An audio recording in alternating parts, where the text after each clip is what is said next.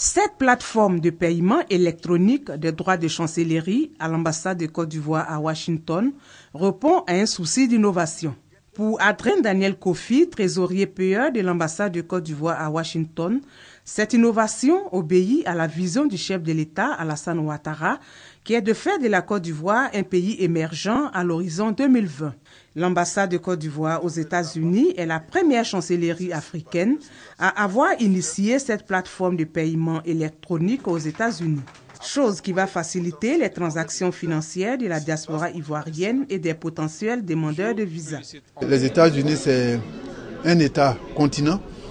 Le territoire est vaste et avec ces outils modernes de gestion euh, des activités administratives, euh, les plus grands bénéficiaires, ce sont nos compatriotes qui sont les principaux usagers de cet outil-là. Les transactions électroniques sont effectuées sur le serveur d'une banque.